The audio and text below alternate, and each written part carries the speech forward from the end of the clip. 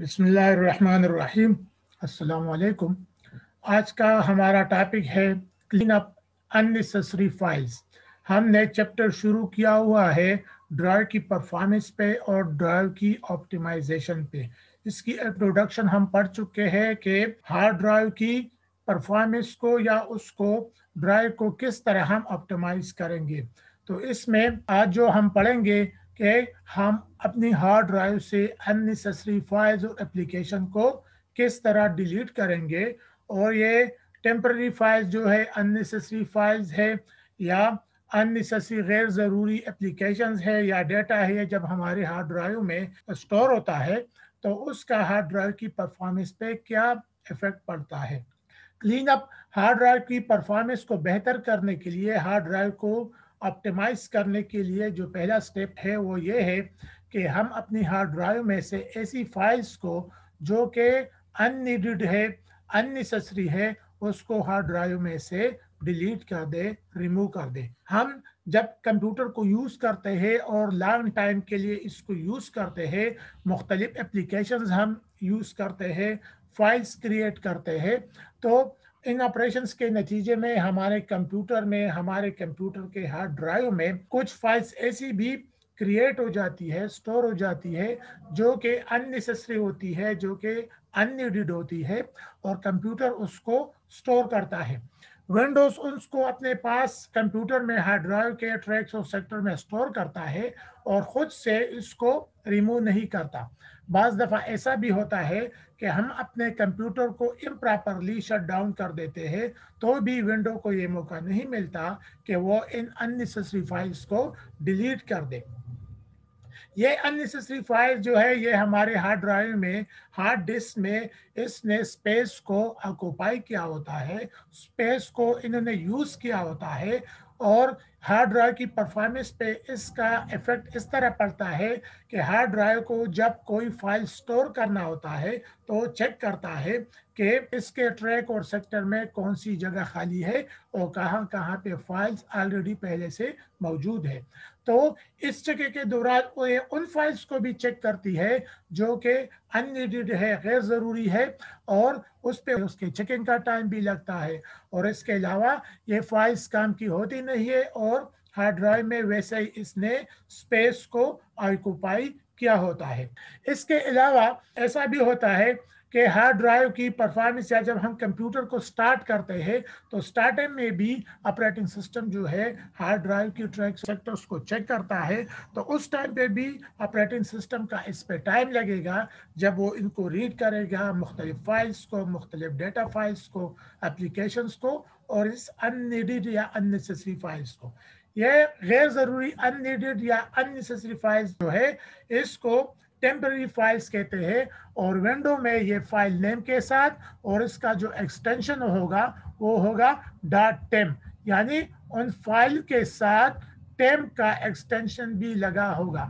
टेम का मतलब ये कि ये फ़ाइल जो है, ये टेम्पररी है और ये हार्ड ड्राइव के मुख्तलिफ़ लोकेशंस पे पड़ी होती है और ये इसने वैसे ही स्टोरेज स्पेस को ऑक्यूपाई किया होता है और काम की होती नहीं है। दूसरी बात यह कि इसको कंप्यूटर से रिमूव करने के मुख्तलिफ़ मेथड्स है। एक मेथड ये है कि हमारे ऑपरेटिंग सिस्टम जब हम इंस्टॉल कर देते हैं तो उसके साथ ऑटोमेटिकली एक क्लीन अप के नाम से एक यूटिलिटी भी स्टोर हो जाती है। अब इंशाल्लाह इस स्लाइड के एंड पे मैं आपको बताऊँगा कि क्लीन अप को कैसे हम यूज़ करेंगे और कैसे इसको यूज़ करके अपने हार्ड ड्राइव में से अननेसेसरी यानी टेम्पररी फाइल्स को डिलीट करेंगे। इसके अलावा एक और तरीके रैम को यूज़ करके हम इस टेम्पररी फाइल्स को कंप्यूटर में से हार्ड ड्राइव में से रिमूव कर सकते हैं।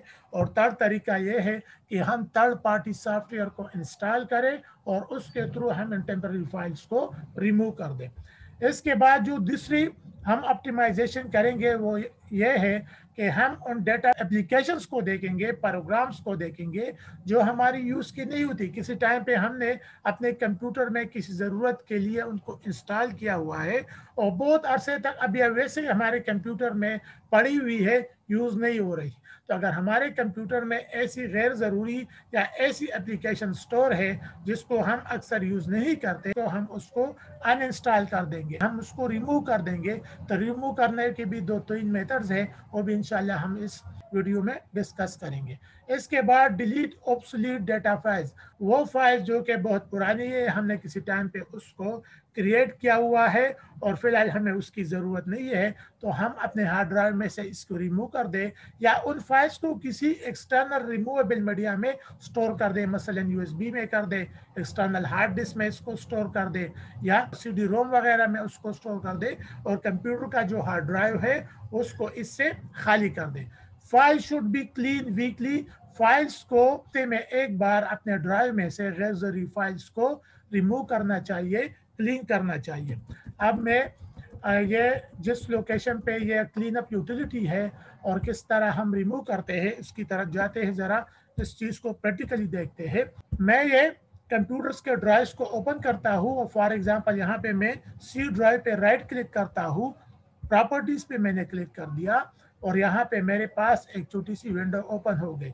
यहाँ पे हमारे पास ये ऑप्शन है कि हम टेम्पररी फाइल्स को जब अपने हार्ड ड्राइव में से रिमूव करेंगे तो ये वो disk disk clean up utility है, जिसकी मदद से हम अननीडेड फाइल्स को टेम्पररी फाइल्स को अपने हार्ड ड्राइव में से रिमूव कर देते हैं। और उसी तरह हमारे हार्ड ड्राइव में एक तो स्पेस क्रिएट हो जाती है, दूसरे हमारे ड्राइव की जो परफॉर्मेंस है, वो बेहतर हो जाती है। हमारा हार्ड ड्राइव जो है हार्ड डिस्क जो है, वो ऑप्टिमाइज हो जाती है। इस पर मैं क्लिक कर दूँगा। क्लिक करने से ये अपनी प्रोसेसिंग शुरू कर देंगे। इस किस्म की एक विंडो आ जाएगी, ये चेकिंग करेगा कि टेम्प्रेरी फाइल्स कौन कौन सी है, उसको इकट्ठा करेगा। फिर आपको ये एक लिस्ट क्रिएट कर देगा और उस लिस्ट में से आप इसको रिमूव कर दें। इस तरीके से आपको कई हंड्रेड मेगाबाइट्स का स्पेस आपको फ्री मिल जाएगा क्रिएट हो जाएगा। कई हंड्रेड मेगाबाइट्स का स्पेस जो इन टेम्प्रेरी फाइल्स ने ऑक्यूपाई किया हुआ है, वो खाली हो जाएगा। इसको फ़िलहाल मैं कैंसिल कर देता हूँ इस प्रोसेस को। दूसरा तरीका जो हमारे पास है टेम्पररी फाइल्स को रिमूव करने का, वो इस तरह है कि हम इस, अगर आपके पास विंडो सेवन है तो इसको यहाँ पे स्टार्ट बटन को क्लिक करेंगे तो यहाँ पे स्टार्ट बटन में रन का ऑप्शन आ जाएगा। अगर आपके पास विंडो एट है या टेन है तो आप राइट क्लिक कर दे और यहाँ पे रन पे क्लिक कर दे। तो ये वाली आपके पास एक ये टेक्स्ट बॉक्स आ जाएगा, इस पे आप राइट कर देंगे परसेंटेज का साइन फिर टेम और फिर परसेंटेज और एंटर की को प्रेस कर देंगे तो ये आपके पास टेम्पररी फाइल्स आ जाएगी। इन सारों को आप कंट्रोल ए से सेलेक्ट कर देंगे और इसको अपने कंप्यूटर में से डिलीट कर देंगे। तो एक तरीका यह भी है कि बहुत सी जो हमारी टेम्पररी फाइल्स है, वो डिलीट हो जाती है। ठीक है? दूसरा एक तरीका इसके साथ और भी है, और किस्म की चंद फाइल्स है, वो भी मैं आपको बताता हूँ। प्री फेच ये आप लिख लेंगे। प्री फेच और यहाँ पे एंटर दबा देंगे। कंटिन्यू तो ये भी आपके पास फाइलें आ जाएगी। इस पर आप कंट्रोल ए कर देंगे और डिलीट कर दे। तो यह भी एक किस्म की गैर ज़रूरी फाइल्स है। ये भी आपके कंप्यूटर में से डिलीट हो जाएगी। तो इस तरीके से आपकी कंप्यूटर की जो परफॉर्मेंस है, वो बेहतर होती जाएगी इससे। इसके बाद हम आ जाते हैं कि वो गैर ज़रूरी फाइल्स या वो गैर ज़रूरी एप्लीकेशंस जो हमारे कंप्यूटर में है, उसको हम किस तरह रिमूव कर दें। तो यहाँ से अगर आपके पास विंडो सेवन है तो आप स्टार्ट बटन को प्रेस कर दें और उसमें से कंट्रोल पैनल को प्रेस कर दें। अगर आपके पास विंडो एट या टेन है यहाँ पे आप राइट क्लिक कर दे, आपको ये वाला कंट्रोल पैनल मिल जाएगा। इसके अलावा, अगर आपके पास विंडो 8 है या विंडो 10 है तो यहाँ पे आप राइट कर दे कंट्रोल पैनल ठीक है? और इसको राइट क्लिक कर दे तो यह आ जाएगा। यहाँ पे प्रोग्राम पे क्लिक कर दे प्रोग्राम में से प्रोग्राम फीचर्स पे क्लिक कर दे। ये आपके पास सारी एप्लीकेशन जो आपके सिस्टम में इंस्टॉल है तो आप इसको यहाँ में से देख ले जो गैर ज़रूरी फाइल्स है, उसको आप यहाँ से रिमूव कर दें। फॉर एग्ज़ाम्पल ये वाला गैर ज़रूरी फ़ाइल है, मैंने इसको सेलेक्ट कर दिया और यहाँ से मैं अनइंस्टॉल प्रेस कर दूँगा तो इसकी अनइंस्टॉलिंग की प्रोसेसिंग शुरू हो जाएगी। तो इस तरीके से हम अपने ड्राइव को मैनेज कर सकते हैं। तो आज के लिए इतना ही। नेक्स्ट वीडियो में मजीद किसी टॉपिक को फिर ड्राइव ऑप्टिमाइजेशन के हवाले से हम स्टडी करेंगे।